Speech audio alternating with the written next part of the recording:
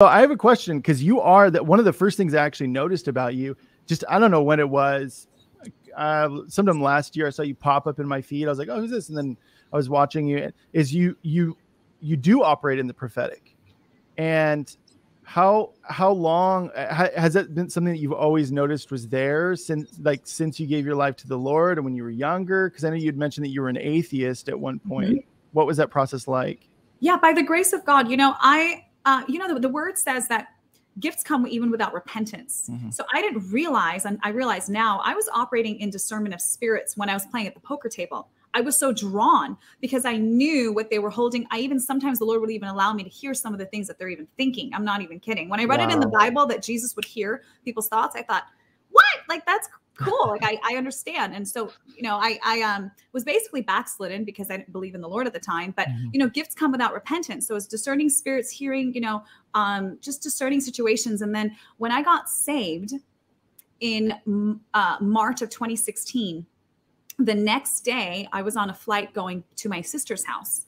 And the Lord, that's when I started hearing the Lord very clear, had messages for people. It was like a download of information. Your brother is ready to hear about me. Tell him about me. Message for my sister, message for my mom. When I landed, I told them what I heard. And they said, How did you know that?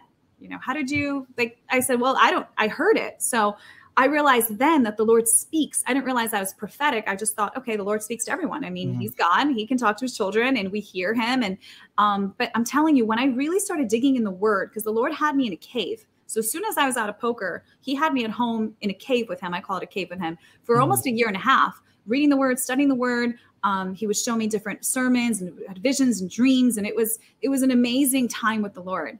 And um, so that's when I realized, okay, I, I, I definitely prophetic this is what it is. And he would he would show things ahead everything that he told me came to pass. Everything wow. i heard on march 2016 you and your boyfriend are going to are going to break up in june. Your brother you know is he's doing this and this and every single thing came to pass. And i said okay mm. amen. So he speaks to us he wants to talk to everyone. Listen in the book of um in first corinthians it says that we all may prophesy. That's what paul mm. said. We all may prophesy.